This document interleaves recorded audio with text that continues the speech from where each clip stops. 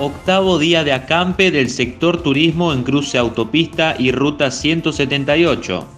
Los manifestantes por el momento decidieron levantar provisoriamente. Explican que debido al gran desgaste de la acción y en función del debate por la ley de emergencia, aguardarán a cómo se tramita la norma. Asimismo, no descartan volver al lugar de acampe y continuar con la medida de fuerza.